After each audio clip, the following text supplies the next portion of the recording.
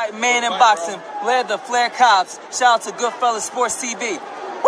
Got Our official sponsor, Greenwood Stock Trading. If you want to learn how to make some passive income, some extra money, so you can invest in your future, your kids' future, give them a call for a free 10 minute consultation 281 760 3170. Go get to the bag. All right, man. I was listening to Coach Malachi show. He did, uh, what was that, Monday? And he talked about how he heard a rumor where uh, Oscar De La Hoya and Bernard Hopkins advised uh, advised uh, Ryan Garcia not to take the not to not to take the contract to fight Gervonta Davis. Said the contract was so bad they told him it was so one sided that he should walk away. And Ryan Garcia insisted on taking the fight, or allegedly he threatened to leave Golden Boy. Now, now I told y'all how this Ryan Garcia shit worked. Golden Boy just can't pick fights for Ryan Garcia.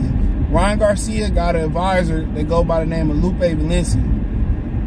So really, you know, Ryan Garcia and Lupe Valencia pick who they want to fight.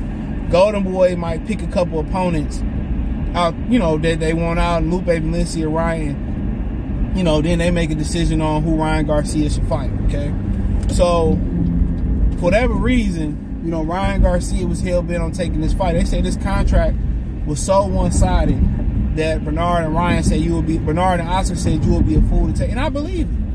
136 pound catch weight. The money probably a little funny. Um, 10 pound rehydration clause.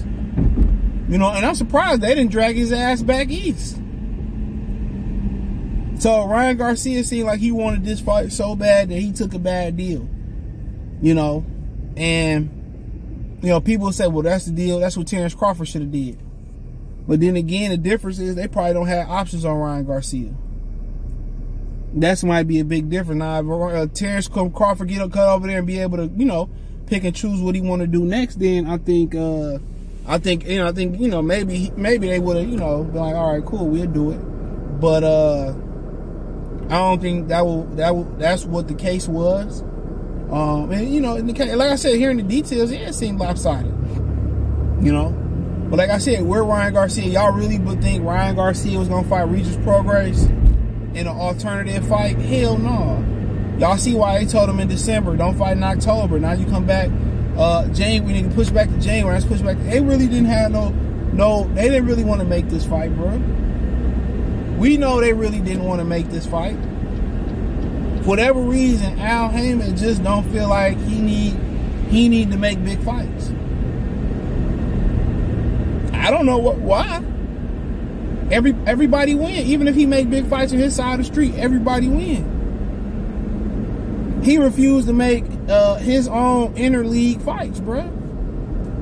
And Ryan Garcia took a contract that 99.9% of fighters wouldn't take. And it ain't like he need the money, from what we know. I know he got some kids, but he do pretty well outside of the sport of boxing. It ain't like he need the money. I need money. It ain't like he need the money. You know? And you know, credit to him for he, if he if you feel like you can win, you can win, you can win. But guess what? When you win this, you don't win a belt, a Reggie belt, a, a, a the Golden Retriever belt, the Intercontinental belt of the world. You don't win none of that. You know. So I think it's about the money. I, I, I don't know, but I know he ain't got nowhere else to go. Who can I run to when I? He ain't nowhere else to go. A lot of the Mexicans hate fighting guys that utilize the ring. So that you know, you can't hit somebody and they got that perpetual wound, and Ryan know he can't do nothing. He figured Tank small, Tank got shorter arms, which it ain't that much shorter, but Tank gonna have to come to him and that's gonna give him a target, an easy target. If I Shakur Stevenson and Devin Haney, he gonna have to work for the target. He just gonna get out pointed.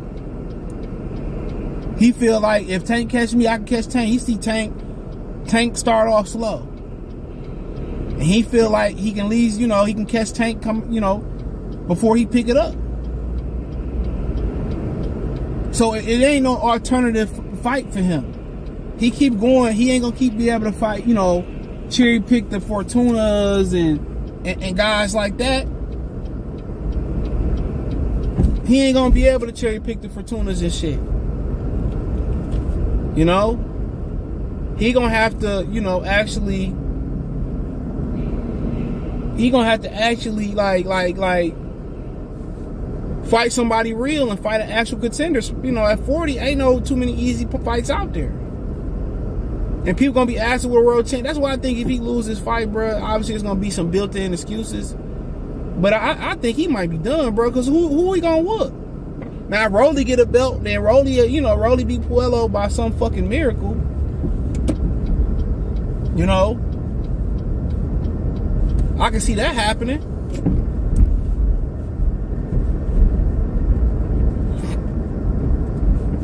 I can see that happening.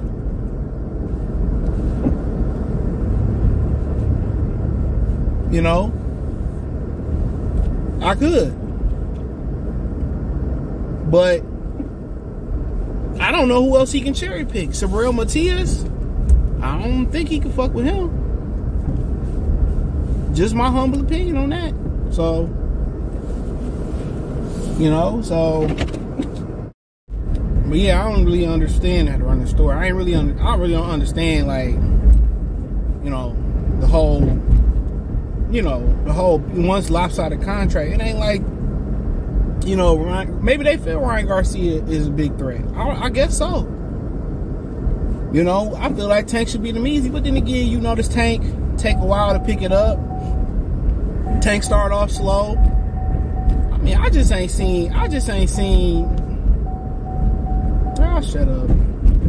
I just ain't seen, you know, somebody act, you know, they, as scary as PBC act, bro. That just, it just don't really make no sense, bro. You know what I'm saying? But if you if you kept your if you kept your fighters active, you know, and, and you you groomed them right, I don't I don't think this would be a problem.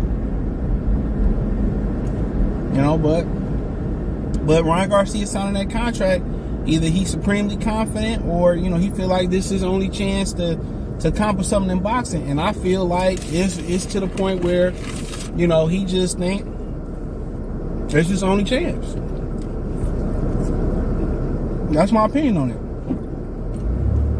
I don't think he feel like he can compete with Devin Haney, Shakur Stevenson, Lomachenko, Regis Prograis, Subriel Matias, Puello, and guys like that. I don't think so. I think they look at Tank as being, you know, not disciplined inside, outside the ring, not 100% dedicated to his craft. You know, then you got the cases coming up. They might be like, this might be the best time to get him. You know, so they could be right, they could be wrong. You know, but Tank lose this fight, bruh Baltimore should never allow him to come back in the metro metropolitan city limits. He should never be allowed to come back. Real talk, he should never be allowed to come back. He should never be allowed to come back. Real talk, he should never be allowed to come back and compete. But you know, apparently, you know, De La Hoya and uh, Bernard Hopkins told him, "Don't sign that contract." And he signed it. So, you know, you know, it ain't like the type of fight just like Mayweather and Pacquiao, or Mayweather, yeah, Mayweather and De La Hoya. That's gonna turn him into a superstar. Like I said before, you know, it's a lot of built-in excuses for Ryan Garcia. It is. But once you think about it, how he did Fortuna on the way, and he caught Fortuna knowing he wasn't training, you know, um, you know, uh, the weight on Emmanuel Tagoe. So he ain't no saint neither. And he ain't got nowhere else to go. Al Haymon and Tank tried to get out this fight. They content with fighting bums. They takes no risk. And when they fighters want to take a risk, that's when they get knocked off. Cause they ain't groomed right, they ain't ready to fight. You know, they ain't ready, they ain't ready to throw down. Cause they ain't been groomed right. They ain't been, you know, they ain't been, you know, they ain't been brought up the right way. But if Tank loses to Ryan, that's the end of PBC. The end of PBC coming regardless, at least on Showtime. We know it when Stephen Espinoza wouldn't commit to them and say, you know, he said, yeah, we, we, you know, we signed, you know, that we know we got a deal that's through 2023. We here for the short term. All right. For the short time. Oh, we don't know how the economy gonna look. I'm like, all right. That's what he said. And one like Showtime Boxing signs a two or three year deal to stay. Mm-mm. We going off his word. I believe what he's saying. They here through 2023. and maybe not past that. So it is what it is. Let me know what you girls and guys think. Shout out to uh, Coach Malachi. Go subscribe to uh what is it? New Media. He changed it. Uh True Media. Uh True Media. True Media. New. Uh True Media Boxing today. Hopefully I got that right, man. But uh, shout out to him. Thumbs up the video. Share the video. Subscribe to the channel. Subscribe button. It's the bell icon button.